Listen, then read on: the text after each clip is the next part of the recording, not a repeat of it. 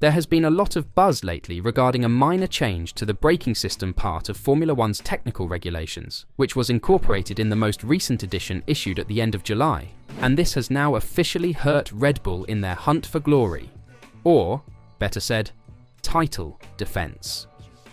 This change refers to a single additional sentence introduced to Article January 2nd 11 of the technical regulations. At first, the regulation read that the brake system must be designed so that within each circuit the forces applied to the brake pads are the same magnitude and act as opposing pairs on a given brake disc. This rule, and the way it is written, implies that the brake pads exert a clamping force on each of the four discs. The real brake balance reading on the steering wheel, which is often between 54% and 58%, represents a proportion of the total braking pressure, 100%, applied to the front axle. This means there is a variation in clamping force from front to back, but it does not imply that the clamping force on each brake disc across a particular axle must be the same. That sentence remains. But in the new version of the regulations that will be effective from this weekend's Dutch Grand Prix onwards, this has been added. Any system or mechanism which can produce systematically or intentionally asymmetric braking torques for a given axle is forbidden. This new sentence expresses just what I just said. In actuality, it is known as torque steer. After reviewing the new legislation, this may have been considered a grey area, as there previously appeared to be nothing preventing torque steer. Basically, the FIA is addressing a loophole in the present regulations, something which is said to have been very, very instrumental to Red Bull's cars in recent years. The steering requirements are solely about the steering wheel and how it interacts with the steering rack and, in turn, the front axle, with no allowance for geometric adjustments to the rear suspension, so four-wheel steering is a no-go. The regulations are written by the FIA and F1, and the teams are responsible for optimizing their performance within those limits. In certain circumstances, this entails delving into grey areas, which, like with any set of restrictions, will be reduced with time. However, modifying them, as is being done for 2026, would create a whole new set of troubling issues. It's certainly worth mentioning that the new braking restriction was initially included in the 2026 standards with the exact identical phrasing. That occurred in the version released on June 24th. Thus, it's probable that this phrasing originated in the negotiations about the 26 regulations and was then incorporated into the present regulations to strengthen them. When new regulations are implemented, any flaws uncovered in previous ones are often closed. However, a slew of new loopholes are usually established. So based on this new addition to the 2024 rules for the second half of the season, it appears that in those decisions for 2026, it was underlined that there is now nothing covering the torque steer possibilities. So, what is the point of having a system that accomplishes something that is now clearly prohibited? There are obvious advantages to having an offset in terms of braking pressure on either side of the car, especially when coming off the brakes. If one side is slower to relieve pressure than the other, it can cause torque steer, allowing the car to rotate. The turn-in phase is critical to any car's performance, and if you can tune it to make the car more responsive into slow corners, where these present ground effect cars are prone to understeer, that may be critical. Something Red Bull was good at, until they probably had to change it around the time of the Miami GP. Torque steer would be rather simple to implement, since you could use a one-way flow restrictor to reduce the release of braking pressure on one side.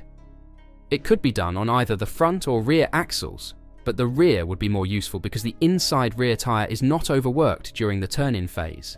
In other words, it permits full braking fluid flow when the pedal is pressed, but inhibits the flow when you release the brakes on one side. This will cause drag on that corner of the car, allowing it to rotate. As a result, you would have to select your issue corners and determine whether they all travelled the same direction, left or right, and configure it accordingly. We don't know for sure if anyone was utilising a system to induce asymmetric braking, but rule adjustments like this are frequently introduced when a team requests clarification. usually due to suspicions or to prevent a team from doing so in the future. Or maybe it just came up as a nice idea when working up the 2026 regulations. If any team was taking use of this possible loophole and can no longer do so, it might have a substantial impact on performance, particularly in slower corners. And in such a competitive sector, that may make a significant difference in the pecking order. And this is exactly what happened to Red Bull in recent months. Around the same time the question about this particular rule came up. So, people were quick to point a finger to Red Bull for probably utilising this trick.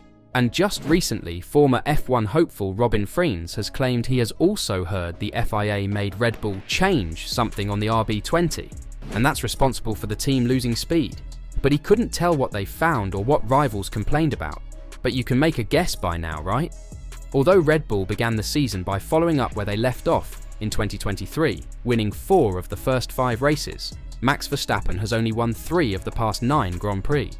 Instead, McLaren has had its period at the top of the timesheets with the quickest car on the grid, while Mercedes has lately emerged victorious, winning three of the previous four races. Red Bull maintains the lead in both championships due to their early season dominance, but McLaren has cut the gap to 42 points in the Constructors, while Lando Norris is 78 points behind Verstappen in the drivers' standings. With Verstappen on a four-race winless streak coming into his home race in Zandvoort, Frijns feels there's more to the issue than just McLaren and Mercedes winning the development battle. What's going on at Red Bull? The Dutchman writes in his Formula One magazine column in terms of why did they lose so much speed all at once. According to the Spanish media, the FIA discovered a problem or other teams complained about a specific aspect of the Red Bull car, prompting changes. That's why they lost so much speed. I wouldn't be surprised if that's true because in Formula One, things are fierce between the teams. Everyone is watching each other. That's what makes the sport so much fun, I think. Every team tries to discover the grey areas in every field. Look at Mercedes, who suddenly came up with the DAS system a few years ago. That was a, let's say, dark grey area. But things like that are what make Formula One so interesting. While he maintained his conviction that Red Bull needed to improve something about the car, it will be tough to catch up with the front competitors again. But how could this all happen? According to Dr. Helmut Marko, a Red Bull advisor, it's because the RB20 is a bitch that only Max Verstappen can tame. At the start of the season, we had a car that was as balanced as the McLaren, Marko said. It could handle all tracks and all conditions. Then we took a wrong turn somewhere. The car has become a bitch that only Max can tame. Marko continued. They made the car more and more unpredictable. It became more and more difficult to set it up and balance it. Perez has been nowhere since Red Bull's recent difficulties started, with even Verstappen having encountered struggles in Hungary. Despite being forced to wrestle the RB20, the defending world champion achieved the quickest qualifying time in Austria and Belgium by a significant margin. Marko praised Verstappen's Q3 performances in those two countries, comparing the Austrian team to Mercedes earlier in the season. Those were special qualifying laps from Max, Marko said.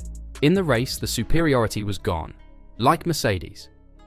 At the beginning of the year, we are sometimes fast and sometimes slow depending on the conditions, sometimes even in the same race as in Silverstone, where it rained in between.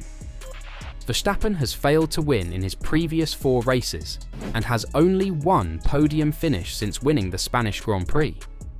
Marko discussed some of the challenges that the three-time world champion has faced. We are better than our last results, Marko claimed, without the bad pit stop in Spielberg, the collision with Hamilton in Hungary, and the grid penalty in Spa, Max would be in a better position. What are your thoughts? Did Red Bull use a grey area trick on their brakes at the start of the season? And had the FIA clamp down resulted in troubles for them? Let me know your thoughts in the comments down below.